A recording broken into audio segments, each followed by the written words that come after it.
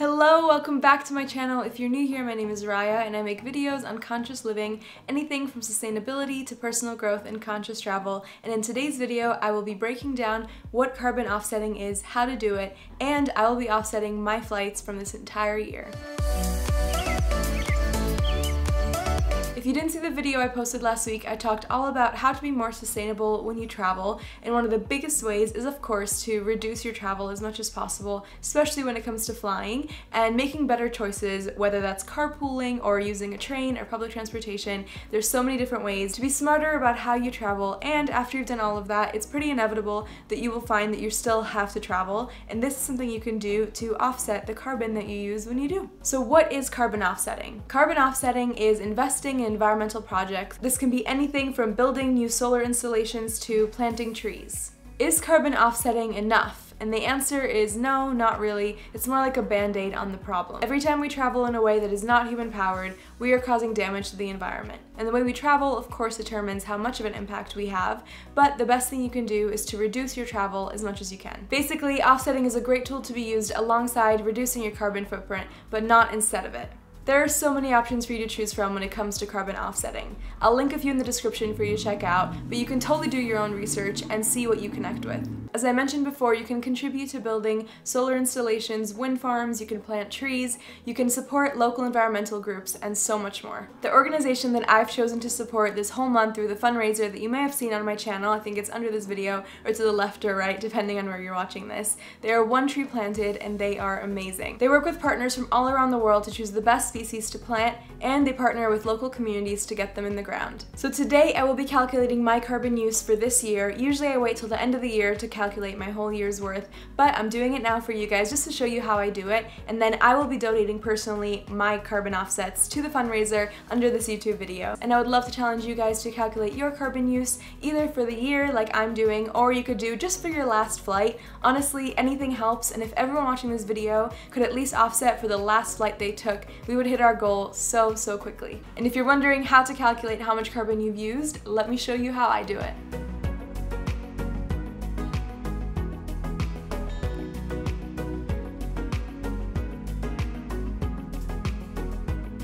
There are tons of different websites that you can use to do this, but I personally like TerraPass. So I will share my screen with you guys right now so you can see what I'm doing. As you can see, you can choose individual calculator. And over here, you can see that you can calculate your vehicle use, your public transit, air travel, and home energy. So I'm gonna click on air travel, and you can either do it by specific flights, number of miles traveled, gallons of fuel, average trip length. I'm personally gonna do specific flights, and I've written all the flights that I've taken. So here we go.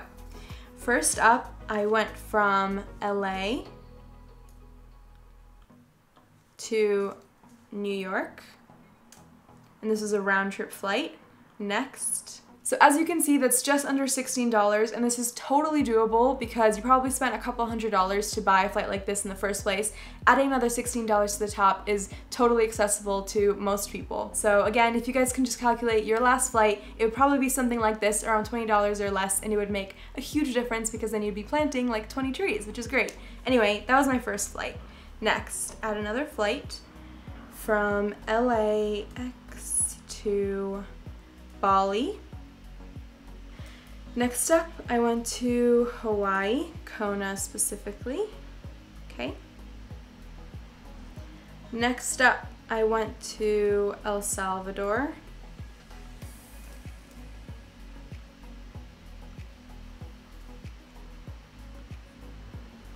And then I did a one-way, make sure you double check up here whether you're pressing one-way or round trip. I went to London one-way, London. Next up was a one-way from London to Madrid for my friend's wedding.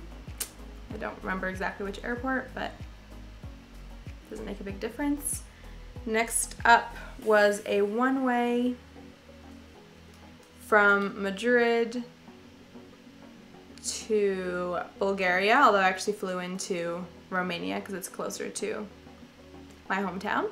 And definitely make sure you watch my video on the tips on how to fly more sustainably. But as you can see here, I flew into Europe for an event that we had in London and then we ended up extending our stay in London to see Louis' family and our friends there and then we had a wedding in Spain and then I went to visit my family in Bulgaria. So that's one big tip is if you are traveling across the world to get to an event or a wedding or something, try to extend your stay as much as you can. So I ended up visiting tons of family and friends and going to a wedding and doing a work event all in one trip instead of flying there, flying back, flying there, flying back. So that is one way to be a bit more sustainable.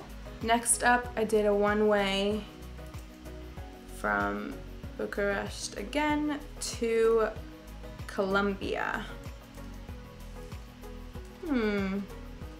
I think I have to type in the city. This summer was pretty crazy for travel for me, but like I said earlier, I did as much as I could to make the most out of the travels that I did do and the places that I did go. So then I went home. I went to Berlin for a job.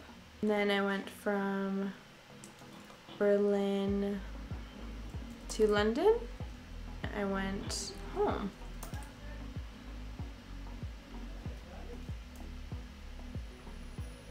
Then I went to Montana and then we drove down to Jackson Hole and then flew there from there back home.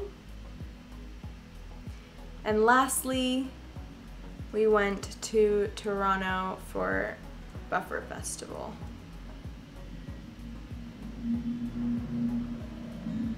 So there we have it. That's all my flights for this year and that is $222. That is how I offset my flights for the year and I will now be donating $222 to the fundraiser that you see down below. And again, if you could calculate your carbon use even just for the last flight and try to donate that to the fundraiser, that would make such a huge difference. So thank you guys so much. And like I said in other videos, of course, the best thing you can do is to reduce your travel as much as you can. And I've actually reduced my travel quite a bit. I know this seems like a lot of flights, but this is what I do for a living.